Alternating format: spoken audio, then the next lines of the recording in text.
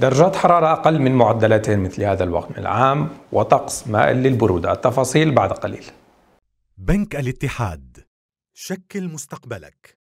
المناصير للزيوت والمحروقات. شركة بسطامي وصاحب وكلاء نيسان وإنفينيتي في الأردن. Leaders Center. كريم هايبر ماركت. المهنية للاستثمارات العقارية. والسعودي وشركاه للتطوير العقاري. أهلا وسهلا بكم من جديد متابعي طقس العرب في الأردن. نرحب بكم في هذه النشرة الجوية الرئيسية من طقس العرب.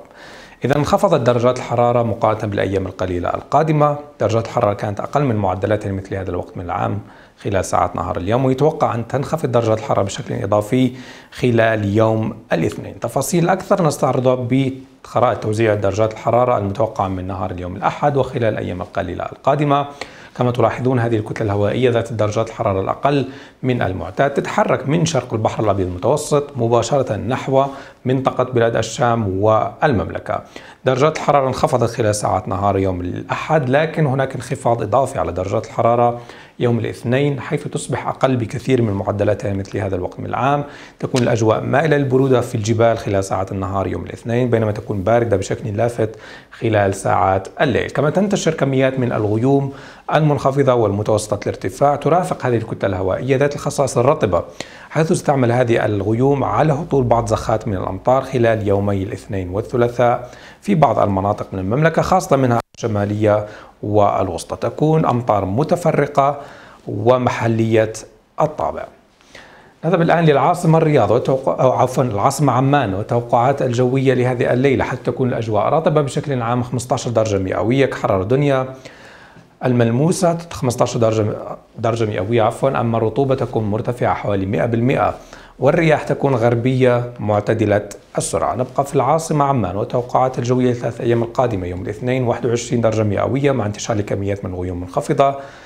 أما ليلا 14 درجة مئوية مع أجواء رطبة بشكل عام يوم الثلاثاء فرصة لزخات من الأمطار 21 درجة مئوية كحرارة عظمى أما الصغرى 14 درجة مئوية يوم الأربعاء انتشار الكميات من الغيوم تستمر درجات الحرارة في بداية العشرينيات خلال ساعات النهار بينما تنخفض ليلا لتسجل 12 درجة مئوية فقط.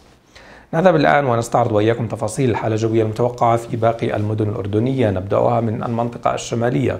فرصة لزخات متفرقة من الأمطار في كل من إربد وعجلون وجرش. إربد تسجل 25 إلى 16 نفس الحرارة في جرش أما عجلون 23 إلى 15 وانتشار لكميات من الغيوم في المفرق مع 25 درجة مئوية كحرارة عظمى أما الصغرى 13 درجة مئوية. المنطقة الوسطى انتشار كميات من الغيوم بشكل عام. هي غيوم عبارة عن غيوم منخفضة ومتوسطة الارتفاع. قد تعمل على هطول بعض زخات من الأمطار في بعض المناطق خاصة البلقاء والأجزاء الغربية من العاصمة عمان.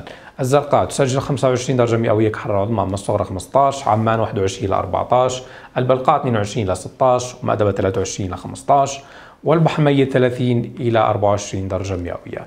المنطقة الجنوبية الكرك طقس صافي مع 21 إلى 13 الطفيلة 21 إلى 12 الشوبك أجواء باردة بشكل لافت خلال ساعات الليل 10 درجات مئوية فقط أما العظمى تسجل 21 معان 26 إلى 13 والعقبة 30 إلى 20 درجة مئوية.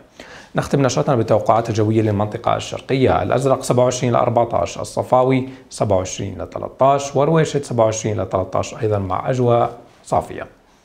كان هذا كل ما لدينا لحد الآن إلى اللقاء. الاشتراك مع أمنية.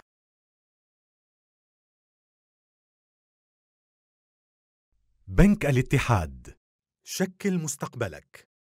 المناصير للزيوت والمحروقات. شركة بسطامي وصاحب وكلاء نيسان وإنفينيتي في الأردن. Leaders Center كريم هايبر ماركت. المهنية للاستثمارات العقارية والسعودي وشركاه للتطوير العقاري.